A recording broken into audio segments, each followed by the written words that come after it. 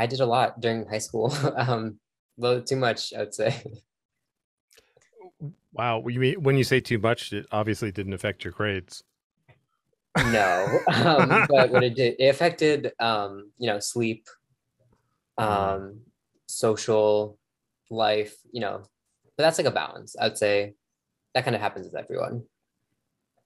Yeah, uh, uh, definitely. Uh, when I was around your age, I worked at the movie theater full time, had a girlfriend who was in a play, in a band, and going full time to UVM.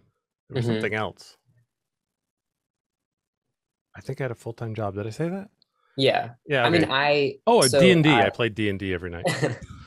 I, um, I'm an avid TV watcher, so fit that into the schedule. yeah. I um my senior I had a job at in a retail um store and then at one time I had another job at my school. So at one time I was doing both at the same time. Then I quit the retail job. So and then I finished up the year with the my job at the school. So yeah, throughout that I was also doing um you know, working at my school.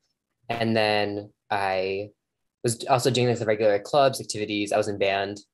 Um, Oh man, how did you practice your instrument with all of that? What yeah, instrument so did you play? We would um, we would have I'd have meetings at nine o'clock, but my rehearsals would be from six to eight thirty or five to eight thirty.